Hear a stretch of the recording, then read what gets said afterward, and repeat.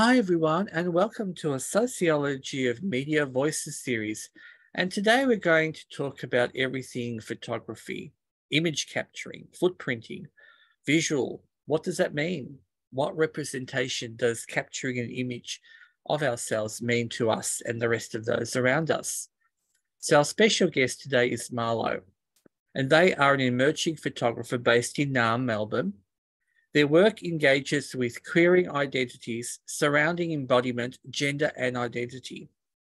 Through the in camera editing methods, such as distortion and blur, the artist plays with the troops of photography to reshape such constructs and challenges the natures of perception. By re imaging the body through photography, Marlo navigates their own transness and embodiment.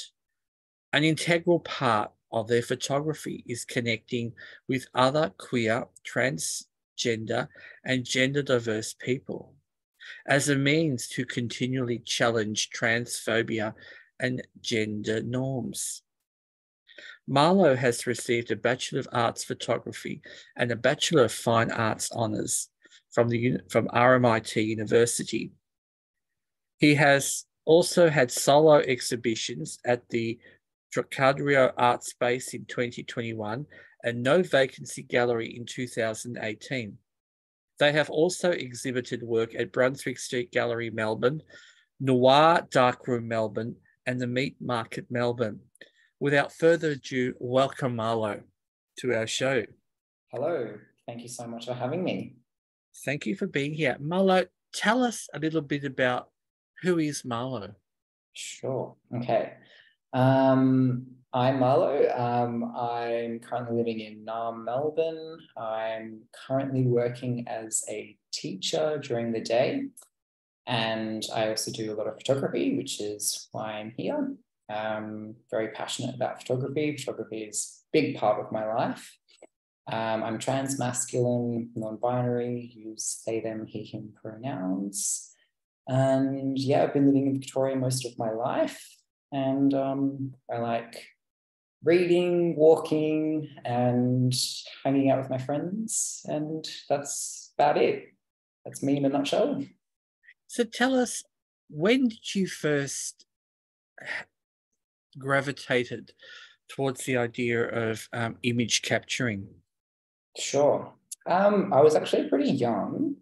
Um, I think I was pretty lucky because my mum's an artist and she paints. And so I was always kind of around her when she was painting and we'd go see galleries and things like that. But as much as I loved painting, didn't really interest me. So I think in high school, she gave me one of her old cameras and I started to um, take that around with me, like on our trips and things like that. And my high school had a dark room.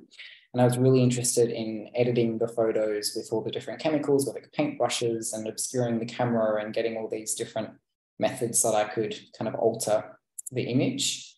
Um, so that's kind of what got me into it. I was just really interested in the process and kind of um, abstracting images to try and like, um, I don't know, challenge how people saw things, I suppose.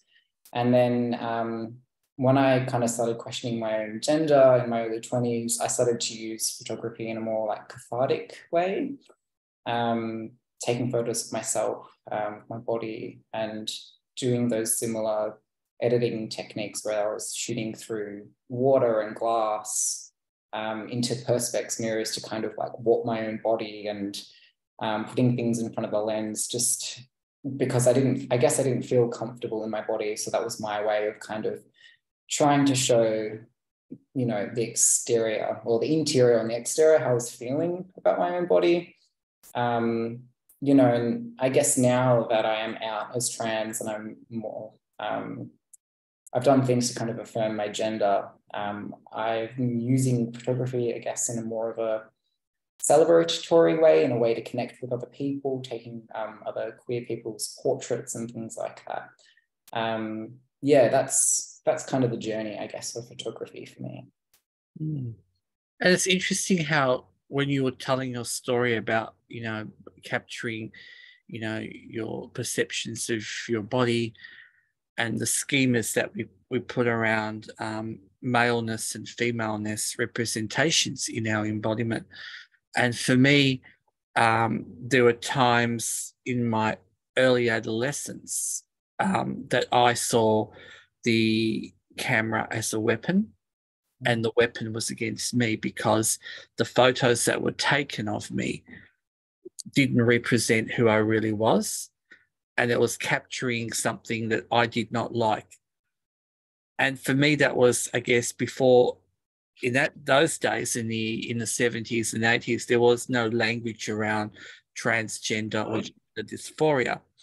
But I remembered feeling that disconnect to what the image and the photography, especially for school photos, for a lot of us was complicated. And I'm wondering, is that something in your journey and your studies that you find that, and I only as a starting point, that some of us who are trans and gender diverse experiences when we're just emerging identities in school, that the actual school photo mm. quite dysphoric because it forces us into binary kind of ways of being.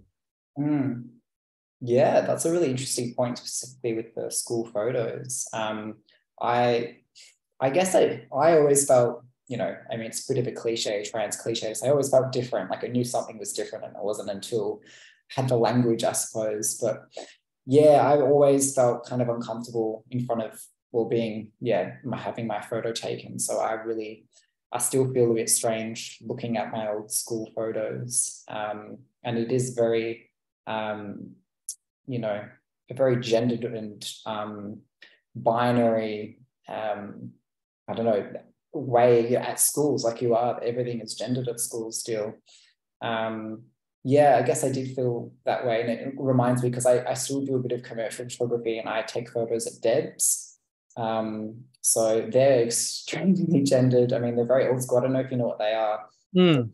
Yeah. So that's where my mind went automatically. You know, you've got the girl and the guy, and you take their photos together. Um, yeah, so I always imagine, you know, I, I wonder if there's any gender diverse kids at these events, or you know, uh, maybe they're not there because they are so gendered. Uh, so when you're taking your the photos in that workspace mm. with debutante balls, so from what you're seeing at the in say 2023, there is still that very demarcation between what males are presenting and female are presenting in, in, in the capturing of the so-called debutante, um, I guess, milestone of their lives.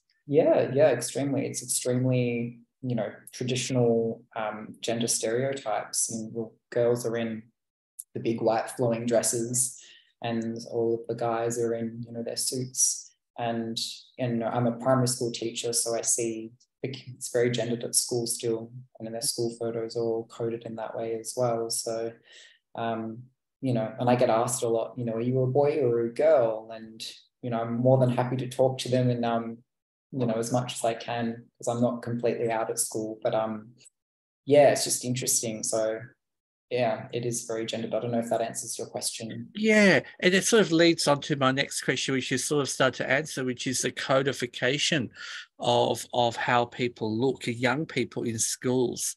That it's quite clear that the way young people uh, get their messaging is still through clothes, mm. and that must for some of us in the you know who are who are trans and gender diverse growing up um, it's quite a con- confronting and sometimes discomforting experience. So, it, for yourself and your journey um, of being a photographer, and it must take you to places and spaces when you're capturing imagery.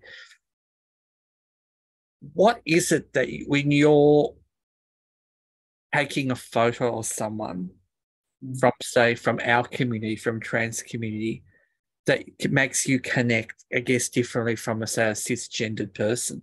Hmm. I guess, um, and I know trans people are all different. We're not all the same, but I feel like there's this sort of mutual understanding in terms of how we experience our own body and our gender and kind of what we've had to go through. So, when I do take a lot of um, when I take portraits of trans and gender diverse people, um, even if I don't you know know them well, I do feel like they're a bit more relaxed, or I feel a bit more relaxed, and we can kind of um, you know don't always have to have the trans 101 talk, but we you know often because I it is a very personal experience having a, photo taken. I feel often people will just kind of open up and we'll share our own experiences and um, I feel like you know with that we relax and we get to know each other kind of thing and um, yeah I feel like once someone's relaxed you can get a really beautiful portrait of someone that um, I don't know just feels a bit more honest and um,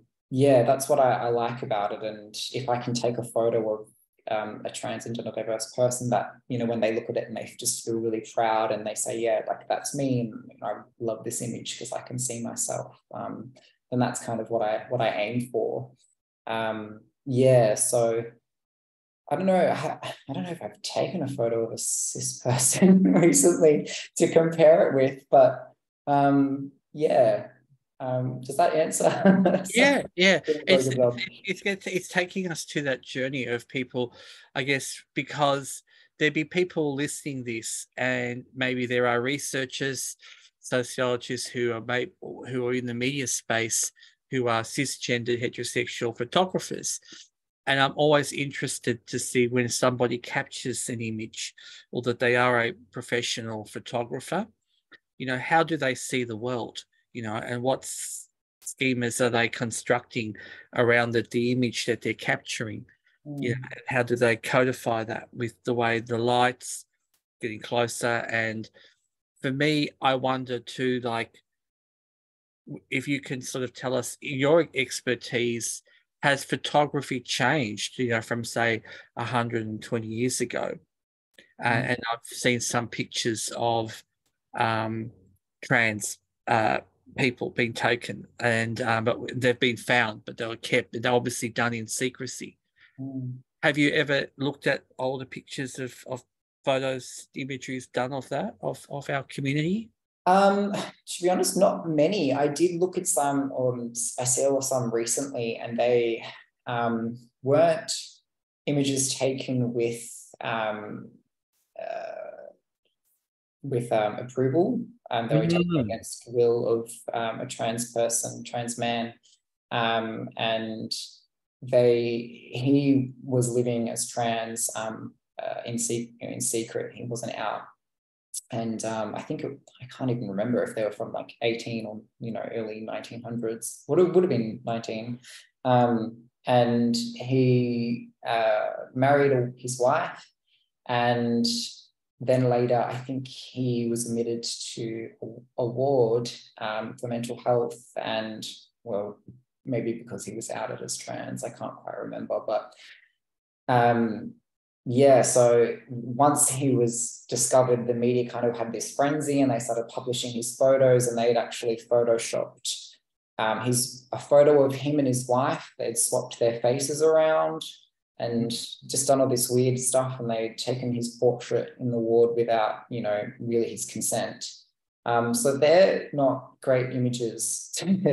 um, I suppose they were pretty, you know, alarming and I just really felt for him and um, yeah so i think that's what's that's what's so striking because when you mentioned that you know the permission aspect and for many trans and gender diverse people photographies can be quite conflicted in some ways because that element of exposure mm. and i'm using that double autonomy exposure in photo but also exposure to the rest of the community mm. it quite can be quite confronting mm. um, and I'm wondering, is that something that you find when you're taking you're taking photos now of our community that you get questioned, or do people say to you, "Oh, where is this going to?" or "Who will get access to it?" Is there, I guess, more of a concern? Yeah, definitely. I mean, it's um, especially with social media. Um, people, you know, have a right to be concerned. And I always say, look, I'm going to show you everything before I put it online or whatever I do with it, whether it's putting it up in a gallery. And if you ever change your mind, that's 100% fine. So there's definitely people that have said, actually, you know, don't show this image. Um, so there definitely is concerns um, for some people. But I also find um, that you know I do a lot of nude portraiture as well, which is you know very a vulnerable thing to do. You know, I do portraiture as well, clothed. Um, but I, I feel like because of that, I was thinking about this the other day. I feel like I only kind of get approached or you know get um, people that are interested in my work that are willing to be published online. So it's usually people that are out, maybe they're very vocal or they have um, an online, you know, you know, presence, social media presence or something like that, where they are living these very like out and proud um, lives. So I often think, are there people, you know, quieter people um, that would like to have their voices heard or have their portrait taken that maybe just aren't, um, you know, approaching photographers and um, yeah, or you know, rarely get the chance to have their portrait taken or their voice heard. Um, yeah. That's incredible because that's something that I was thinking. Um, we are we are in in our world that we've all been indoctrinated and culture encultured to capture, you know, signpost uh, aspects of our lives, you know, and it is so true that you know there's you know we have photography to capture moments you know in those that i know were in traditional family constellations you know when a child is born or when a child uh, when there used to be marriage between uh, just men and women in in the you know earlier on many years ago um, and you would have moments of time that were captured and then portraited onto, I'd say, the walls. And now, how things that have moved and shifted in society where there's a great acceptance, yet there is still that element that we're still trying to validate our own existence being and trying to fit in. And it, for me, sometimes it is. It's like you said, it's just you know, where can we capture? There may be people out there who are doing ordinary jobs and who may not necessarily be public, but still would like to have some sort of connection with themselves and the world around them. And it's interesting. And I guess for me, when I got to meet you, and it was around a project that you're doing, and I thought, can you tell us a little bit about this project that you're currently working on? Sure. Um, so the project I'm currently working on, um, I'm hoping to make a photographic book, um, portraits and interviews with older trans and gender diverse people. Um, so it's very early stages at the moment. I've interviewed maybe six people, six older trans and gender diverse people. Um, and then, yeah, I just love to take their portraits and put it into a book. Um, I I don't remember, to be honest, how or where the thought came from. I think I was thinking of my own relationship with my family. And look, I'm, yeah, I'm really lucky. I do have a, a good relationship with them. But like I was saying before, I think with other trans and gender diverse people, there's that kind of mutual understanding. So there's just things that they couldn't, or maybe struggle to understand when it comes to my transness. Um, and just, you know, that, and me in general because um, that is me. Um, yeah, so I, was, I, started thinking about that, and then I started thinking about um, you know the elder trans community, and you know where are they, and then I started thinking, what do I look like in the future? And that got me thinking about you know the kind of bridge between younger generations of trans and gender diverse people and older trans and gender, gender diverse people, and where is that community where they kind of meet and share their experiences um, and hopefully, you know, grow from each other. And so that was one aspect of it. And then I thought, you know, as I was looking online for different community groups for older trans people, um, you know, there it's there and old trans people exist, but I just thought, you know, there's there's obviously a gap because it's very little, like their voices and their faces aren't in the media.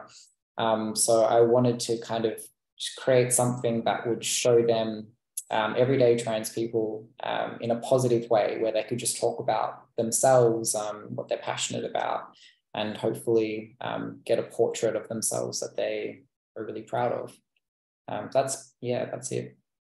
And I think that's what's so um, inspiring about your work because it gives older uh, tr- people who are trans and gender diverse that moment of their time to, to capture and kind of that having a portrait of yourself as yourself. And for many of us we didn't affirm ourselves like myself to my late 40s so you do kind of want to think yeah it, it, so i can look at something and not have to visualize how i want to be in my mind. Mm. because sometimes for many of us we've lived through our imageries images that we've created artificially in our head to protect ourselves from hurt or not being able to present to the world as we would like to be. Mm. I think for for some of for many of us, having a portrait as we are um, is an important step of authenticating the journey to affirmation. So that's incredible um, experience. And, I, and for anyone that's listening who's researching in this space or would like to uh, talk to Marlo as a consultant for their work, to reach out to me, and I'd be happy to um, follow on their detail, pass on their details. Marlo, it's been an absolute pleasure speaking with you today. Um, I just want to thank you for coming in and sharing your story and the value of photography as a medium and as also a power tool to affirm those of us in the community and especially for IDAHOBIT Day, it's wonderful to celebrate emerging um, creative artists like yourself. Thank you for being here. Thank you so much for having me, Ricky. I really enjoyed it. Thank you.